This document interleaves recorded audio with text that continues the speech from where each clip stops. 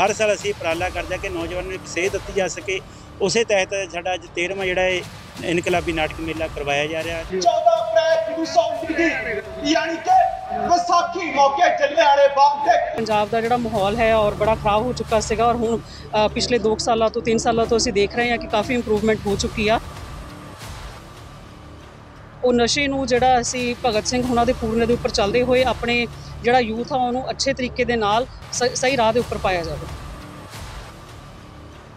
ਔਰ ਜੱਸੀ ਸੋਈਆਂ ਹੋਰੀ ਬੜੇ ਸਾਡੇ ਇਸ ਤਰ੍ਹਾਂ ਦੇ ਮੇਰੇ ਛੋਟੇ ਵੀਰ ਨੇ, ਸਾਡੇ ਇਸ ਤਰ੍ਹਾਂ ਦੇ ਵਰਕਰ ਨੇ ਜਿਹੜੇ ਐਕਟਿਵ ਰਹਿੰਦੇ ਨੇ ਹਮੇਸ਼ਾ।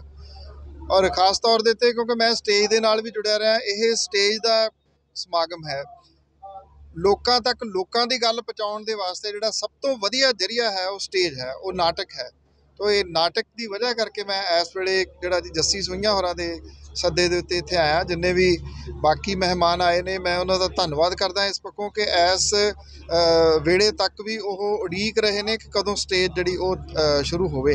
ਸੋ ਨਾਭਾ ਜਿਹੜਾ ਜੀ ਵੇਖਿਆ ਜਾਵੇ ਤਾਂ ਇੱਕ- ਸਾਹਿਤਿਕ ਇਹ ਹਲਕਾ ਹੈ।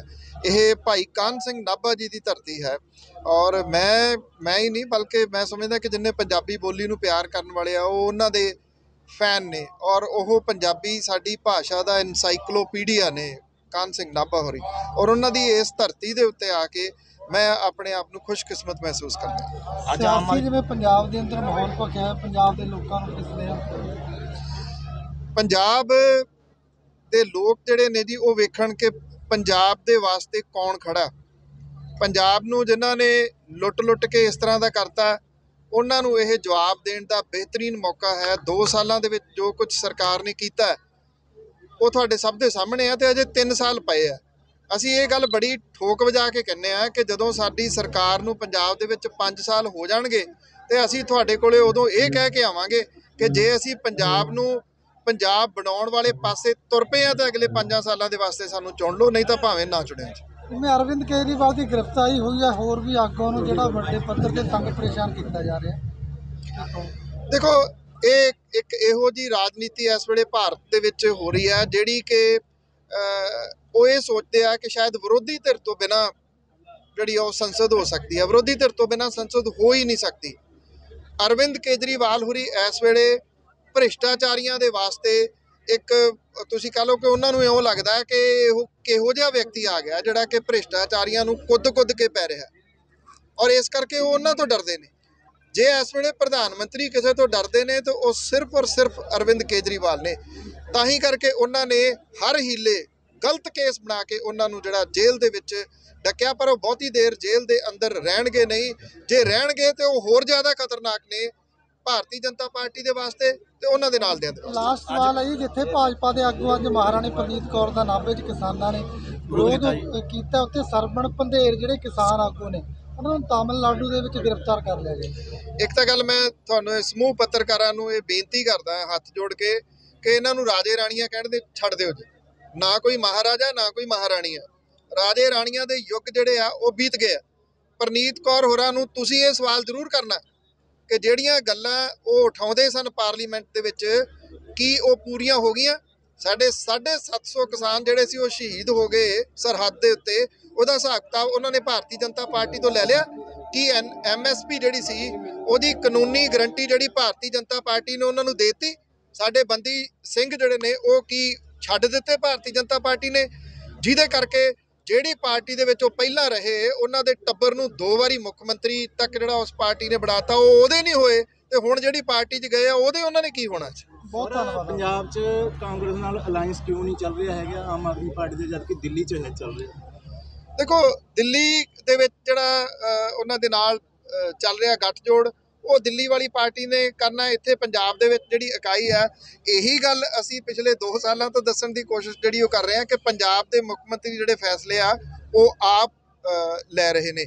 ਪੰਜਾਬ ਦੇ ਵਿੱਚ ਆਮ ਆਦਮੀ ਪਾਰਟੀ ਜਿਹੜੀ ਆ, ਉਹ ਇਸ ਪੋਜੀਸ਼ਨ ਦੇ ਵਿੱਚ ਹੈ ਕਿ ਉਹ 13 ਦੀਆਂ 13 ਸੀਟਾਂ ਆਪਣੇ ਬਲਬੂਤੇ ਜਿੱਤ ਸਕਦੀ ਹੈ। ਨਾਟਕਾ, ਇਨਕਲਾਬੀ ਨਾਟਕਾ ਤੇ ਖਾਸ ਕਰ ਇਹ ਉਸ ਸਮੇਂ ਚੋਂ ਆ, ਜਦੋਂ ਜਿਹੜਾ ਦੇਸ਼ ਤਾਨਾਸ਼ਾਹੀ ਵੱਲ ਵਧ ਰਿਹਾ ਹੈ ਸਾਡੀ ਜਿਹੜਾ ਸੰਵਿਧਾਨ ਨੂੰ ਤੋੜਨ ਦੀਆਂ ਕੋਸ਼ਿਸ਼ਾਂ ਹੋ ਰਹੀਆਂ ਨੇ ਔਰ ਜਿਹੜੇ ਸਰਦਾਰ ਭਗਤ ਸਿੰਘ ਸੀ ਉਹ ਸਮੇਂ ਦੇ ਉਹਨਾਂ ਨੇ ਜਿਹੜਾ ਆਜ਼ਾਦੀ ਲਈ ਫਾਂਸੀ ਦਾ ਰੱਸਾ ਚੁੰਮਿਆ, ਇਹ ਇੱਕ ਇਤਿਹਾਸਿਕ ਪਲ ਸੀ ਉਹ। ਅੱਜ ਫਿਰ ਉਹੀ ਤਾਨਾਸ਼ਾਹੀ ਜਿਹੜੀ ਹਿੰਦੁਸਤਾਨ ਨੂੰ, ਫਿਰ ਇੱਕ ਸਾਨੂੰ ਆਰਥਿਕ ਗੁਲਾਮੀ ਜਿਹੜੀ ਆ, ਉਹ ਵੱਧ ਰਹੀ ਆ। ਸਾਡੀ ਬੋਲਣ ਦੀ ਆਜ਼ਾਦੀ ਫਿਰ ਛਿਨ ਰਹੀ ਆ ਔਰ ਸਾਡੀ ਖਾਸ ਕਰ ਜਿਹੜੀਆਂ ਆਪੋਜੀਸ਼ਨ ਪਾਰਟੀਆਂ ਨੇ ਸਮੇਂ ਦਾ ਤਾਨਾਸ਼ਾਹ ਨੂੰ ਖਤਮ ਕਰਨਾ ਚਾਹ ਰਹੇ ਆ। ਔਰ ਅੱਜ ਫਿਰ ਦੁਬਾਰਾ ਜਿਹੜੇ ਸਾਡੇ ਦੇਸ਼ ਦੇ ਲੋਕ ਨੇ, ਹਿੰਦੁਸਤਾਨ ਦੇ ਲੋਕ ਨੇ, ਖਾਸ ਕਰ ਸਾਡੇ ਪੰਜਾਬੀ, ਫਿਰ ਉਹ ਜਿਹੜੇ ਆਪਣੇ ਹੱਕਾਂ ਲਈ ਜਿਹੜਾ ਲੜ ਰਹੇ ਨੇ, ਚੇਤਨ ਨੇ ਲੋਕ, ਇਹ ਨਾਟਕ ਉਸ ਸਮੇਂ 'ਚ ਹੋ ਰਿਹਾ ਜਦੋਂ ਦੇਸ਼ ਤਾਨਾਸ਼ਾਹੀ ਵੱਲ ਵਧ ਰਿਹਾ ਔਰ ਤੁਸੀਂ ਇਹਦੇ ਇਕੱਠ ਨੂੰ ਦੇਖਦੇ ਹੋਵੋਗੇ, ਲੋਕ ਅੱਜ ਵੀ ਪੰਜਾਬ ਦੇ ਲੋਕ, ਜੁਝਾਰੂ ਲੋਕ ਨੇ ਔਰ ਇਹ ਤਾਨਾਸ਼ਾਹੀ ਦੇ ਖਿਲਾਫ ਜਿਹੜਾ ਡਟ ਕੇ ਲੜਨਗੇ, ਪਹਿਰਾ ਦੇਣਗੇ ਔਰ ਖਾਸ ਕਰ ਜਿਹੜੀਆਂ ਲੋਟੂ ਟੋਲੇ ਨੇ, ਕਹਿੰਦੇ ਨੇ ਇੱਕ ਪਾਸੇ ਲੋਕ ਨੇ, ਲੋਕਾਂ ਦਾ ਰਾਜ ਚਾਹੀਦਾ, ਇੱਕ ਪਾਸੇ ਜੋਕਾਂ ਦਾ ਰਾਜ ਆ।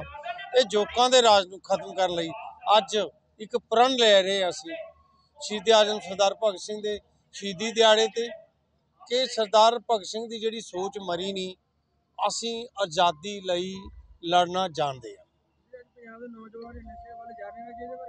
ਦੇਖੋ ਜੀ, ਨਸ਼ਿਆਂ ਦੇ ਅੱਜ ਦੇ ਨਹੀਂ ਜਾ ਰਹੇ, ਕਾਫੀ ਸਮੇਂ ਤੋਂ ਪਿਛਲੇ ਸਮੇਂ 'ਚੋਂ ਘਟਿਆ ਤੁਸੀਂ ਪਿਛਲਾ ਇਤਿਹਾਸ ਦੇਖੋ ਤੇ ਅੱਜ ਦਾ ਵੀ ਦੇਖੋ, ਅੱਜ ਜਿਹੜੀਆਂ ਜਾਇਦਾਦਾਂ ਕੁਰਕ ਵੀ ਹੋ ਗਈਆਂ, ਬਹੁਤ ਵੱਡੇ ਪੱਧਰ ਤੇ ਜਿਹੜੀਆਂ ਕੁਰਕ ਹੋ ਰਹੀਆਂ ਜਾਇਦਾਦਾਂ, ਔਰ ਸਾਡੇ ਉਹ ਵੀ ਜਿਹੜੇ ਈਵਨ ਕਿ ਆਈਜੀ ਦੇ ਡੀਐਸਪੀ ਲੈਵਲ ਦੇ, ਹੋਰ ਵੱਡੇ ਲੈਵਲ ਦੇ ਆ ਦੇ ਪਿੱਛੇ ਵੀ ਨੇ।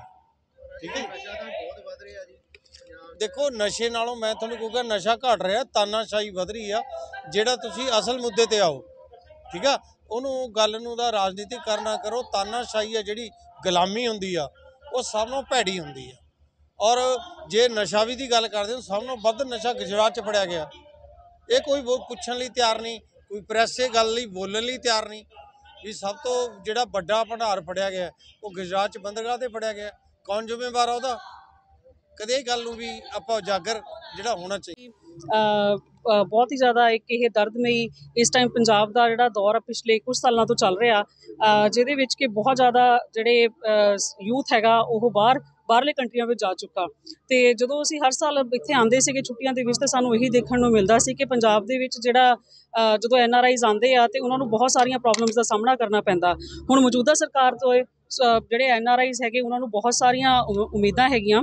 ਤੇ ਜਦੋਂ ਅਸੀਂ ਦੇਖਿਆ ਕਿ ਨਵੀਂ ਸਰਕਾਰ ਜਿਹੜੀ ਆਈ ਆ, ਔਰ ਇਹਦੇ ਵਿੱਚ ਜਿਹੜੇ ਯੂਥ ਹੈਗਾ, ਉਹਨੂੰ ਡੈਫੀਨਿਟਲੀ ਅੱਗੇ ਆਉਣਾ ਚਾਹੀਦਾ। ਤੇ ਮੈਂ ਡਿਸੀਜਨ ਲਿਆ ਕਿ ਮੈਨੂੰ ਐਨ ਆਰ ਆਈ ਸਭਾ ਦੇ ਇਲੈਕਸ਼ਨਸ ਦੇ ਵਿੱਚ ਖੜੇ ਹੋਣਾ ਚਾਹੀਦਾ। ਔਰ ਸਾਡਾ ਇਹੀ ਹੈ ਕਿ ਰਿਵਰਸ ਮਾਈਗ੍ਰੇਸ਼ਨ ਜਿਹੜੀ ਹੈਗੀ ਆ, ਉਹਨੂੰ ਉਤਸ਼ਾਹਿਤ ਕੀਤਾ ਜਾਏ। ਔਰ ਦੂਸਰਾ ਜਿਹੜਾ ਹੈਗਾ, ਜਦੋਂ ਐਨ ਆਰ ਆਈ ਜਦੋਂ ਆਉਂਦੇ ਆ, ਤਾਂ ਜਿਹੜੀਆਂ ਉਹਨਾਂ ਦੀਆਂ ਪ੍ਰੋਬਲਮਸ ਹੈਗੀਆਂ, ਉਹ ਫੌਰੀ ਤੌਰ ਦੇ ਉੱਪਰ ਉਹ ਜਿਹੜੀਆਂ ਸੋਲਵ ਕੀਤੀਆਂ ਜਾਣ। ਤੇ ਇਹੀ ਮੇਰਾ ਹੈ ਔਰ ਦੂਸਰਾ ਜਿਹੜਾ ਹੈ, ਜਿ- ਜਿਸ ਤਰ੍ਹਾਂ ਹੁਣ ਜ- ਜੱਸੀ ਭਾਜੀ ਹੁਣਾਂ ਨੇ ਇੱਕ ਬੜਾ ਅੱਛਾ ਨਾਟਕ ਜਿਹੜਾ ਹੈਗਾ, ਇਹ ਤਿਆਰ ਕਰਾਇਆ ਕ੍ਰਾਂਤੀਕਾਰੀਆਂ ਸਰਦਾਰ ਭਗਤ ਸਿੰਘ ਰਾਜਗੁਰੂ ਔਰ ਸੁਖਦੇਵ ਦੇ ਉੱਪਰ ਔਰ ਉਹਨਾਂ ਦਾ ਡੈਫੀਨਿਟਲੀ ਇਹ ਕਦੀ ਵੀ ਇਹ ਨਹੀਂ ਸੀਗਾ ਕਿ ਜਿਹੜਾ ਪੰਜਾਬ ਹੈਗਾ ਜਿਸ ਦੌਰ ਚੋਂ ਨਿਕਲ ਰਿਹਾ ਪਿਛਲੇ ਦਸ਼ਕ ਦੇ ਵਿੱਚ ਵੀ ਇਸ ਤਰ੍ਹਾਂ ਦੇਖਣ ਨੂੰ ਮਿਲਿਆ ਕਿ ਪੰਜਾਬ ਦਾ ਜਿਹੜਾ ਮਾਹੌਲ ਹੈ ਔਰ ਬੜਾ ਖਰਾਬ ਹੋ ਚੁੱਕਾ ਸੀਗਾ ਔਰ ਹੁਣ ਅ, ਪਿਛਲੇ 2 ਸਾਲਾਂ ਤੋਂ 3 ਸਾਲਾਂ ਤੋਂ ਅਸੀਂ ਦੇਖ ਰਹੇ ਹਾਂ ਕਿ ਕਾਫੀ ਇੰਪਰੂਵਮੈਂਟ ਹੋ ਚੁੱਕੀ ਆ।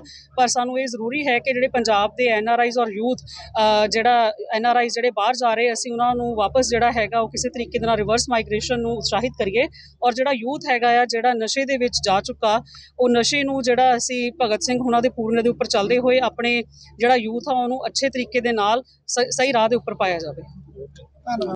ਦੇਖੋ ਜੀ, ਜਿਹੜਾ ਸਾਡਾ Azad welfare and sports club ਆ, ਵੱਖ-ਵੱਖ ਸਮੇਂ ਤੇ ਅਸੀਂ ਨੌਜਵਾਨਾਂ ਨੂੰ ਖੇਡਾਂ ਦੇ ਨਾਲ ਜੋੜਨ ਲਈ, ਨੌਜਵਾਨਾਂ ਨੂੰ ਨਸ਼ਿਆਂ ਤੋਂ ਦੂਰ ਰੱਖਣ ਲਈ, ਨੌਜਵਾਨਾਂ ਨੂੰ ਸਮਾਜਿਕ ਬੁਰਾਈਆਂ ਤੋਂ ਜਿਹੜਾ ਦੂਰ ਰੱਖਣ ਲਈ ਅਸੀਂ ਹਮੇਸ਼ਾ ਇਹੋ ਜਿਹੇ ਪ੍ਰੋਗਰਾਮ ਲਿਖਦੇ ਰਹਿੰਦੇ ਹਾਂ ਤੇ ਸ਼ਹੀਦ ਆਜਮ ਸਰਦਾਰ ਭਗਤ ਸਿੰਘ ਰਾਜਗੁਰੂ ਤੇ ਸੁਖਦੇਵ ਜੀ ਦੇ ਸ਼ਹੀਦੀ ਦਿਹਾੜੇ ਮੌਕੇ ਜਿਹੜਾ ਹਰ ਸਾਲ ਅਸੀਂ ਉਪਰਾਲਾ ਕਰਦੇ ਹਾਂ ਕਿ ਨੌਜਵਾਨਾਂ ਨੂੰ ਇੱਕ ਸੇਧ ਦਿੱਤੀ ਜਾ ਸਕੇ। ਉਸੇ ਤਹਿਤ ਸਾਡਾ ਅੱਜ 13ਵਾਂ ਜਿਹੜਾ ਇਹ ਇਨਕਲਾਬੀ ਨਾਟਕ ਮੇਲਾ ਕਰਵਾਇਆ ਜਾ ਰਿਹਾ, ਜਿਸ ਦੇ ਵਿੱਚ ਸਾਡੇ ਬਹੁਤ ਹੀ ਸਤਿਕਾਰਯੋਗ ਪੰਜਾਬ ਦੇ ਮੁੱਖ ਮੰਤਰੀ ਭਗਵੰਤ ਮਾਨ ਜੀ, ਉਹਨਾਂ ਦੇ ਮੀਡੀਆ ਸਲਾਹਕਾਰ ਸ੍ਰੀ ਬਲਦੇ, ਬਲਤੇਜ ਪੰਨੂ ਜੀ ਤੇ ਨਾਲ ਹੀ ਸਾਡੀ ਭੈਣ ਪਰਵਿੰਦਰ ਕੌਰ ਜੀ ਬੰਗਾ, ਜਿਹੜੇ ਐਨ ਆਰ ਆਈ ਸਭਾ ਪੰਜਾਬ ਦੇ ਪ੍ਰਧਾਨ ਨੇ ਪ੍ਰਸਿੱਧ ਗਾਇਕ ਹਰਜੀਤ ਹਰਮਨ ਜੀ ਤੇ ਹੋਰ ਬਹੁਤ ਸਾਰੀਆਂ ਸ਼ਖਸੀਅਤਾਂ ਨੇ ਇਸ ਮੌਕੇ ਤੇ ਪੁੱਜੀਆਂ ਨੇ। ਇਹਨਾਂ ਦਾ ਵੀ ਤਹਿ ਦਿਲੋਂ ਧੰਨਵਾਦ ਕਰਦੇ ਹਾਂ ਤੇ ਸਾਡੀ ਇੱਕ ਨੌਜਵਾਨ ਵੀਰੋਂ ਬੇਨਤੀ ਆ, ਅਪੀਲ ਵੀ ਆ ਕਿ ਪੰਜਾਬ ਸਰਕਾਰ ਵੀ ਉਪਰਾਲੇ ਕਰੀ ਆ ਤੇ ਤੁਸੀਂ ਵੱਧ ਤੋਂ ਵੱਧ ਜਿਹੜੇ ਨੌਜਵਾਨ ਖੇਡਾਂ ਦੇ ਨਾਲ ਜੁੜੋ, ਸਮਾਜਿਕ ਬੁਰਾਈਆਂ ਤੋਂ ਤੇ ਨਸ਼ਿਆਂ ਤੋਂ ਦੂਰ ਰਹੋ। ਇਹ ਭਗਤ ਸਿੰਘ ਉਹਨਾਂ ਦਾ ਜਿਹੜਾ ਸੁਪਨਾ ਸੀਗਾ ਕਿ ਪੰਜਾਬ ਦੇ ਵਿੱਚ, ਪੂਰੇ ਦੇਸ਼ ਦੇ ਵਿੱਚ ਜਿਹੜੇ ਸਾਡੇ ਨੌਜਵਾਨ ਨੇ ਉਹ ਚੰਗੇ ਕੰਮਾਂ ਦੇ ਵਿੱਚ ਲੱਗਣ ਤੇ ਉਹਨਾਂ ਨੂੰ ਜਿਹੜੀਆਂ ਰੁਜ਼ਗਾਰ ਮਿਲੇ ਤੇ ਅੱਗੇ ਹੋ ਕੇ ਜਿਹੜਾ ਉਹਨਾਂ ਦੀ ਸੋਚ ਤੇ ਸਾਨੂੰ ਪਹਿਰਾ ਦੇਣ ਦੀ ਲੋੜ ਆ ਤੇ ਤੁਹਾਡਾ ਵੀ ਸਾਰਿਆਂ ਦਾ ਤਹਿ ਦਿਲੋਂ ਧੰਨਵਾਦ ਕਰਦੇ ਹਾਂ। ਧੰਨਵਾਦ